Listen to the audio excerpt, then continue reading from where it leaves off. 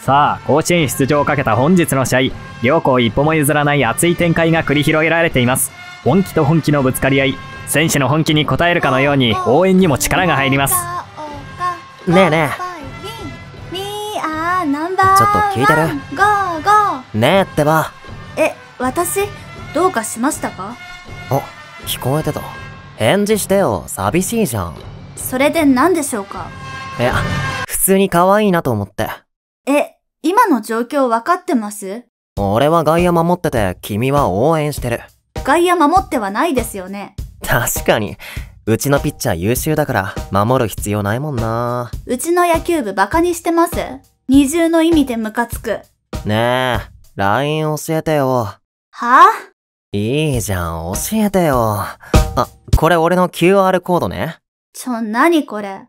試合中でも渡せるようにボールに QR コード書いてんの ID じゃなくて QR? 気持ち悪っていうかそもそもライバル校なんだから仲良くするわけないでしょ？ああ試合中はライバルだとしても恋愛中は関係ないでしょ？今まさに試合中だわ。恋愛もしないし。厳しいなじゃあ俺がこの後ホームラン打ったら LINE 教えてそれうちの高校にとってのピンチじゃん。無理。ああそっかじゃあ三振するそしたら教えてくれる？あんたはそれでいいの？まあ俺が一度三振するくらいなら負けないっしょ。腹立つ。あんたね、仮にも甲子園出場できるくらいの学校のレギュラーなんでしょ？本気で試合に取り組みなさいよ。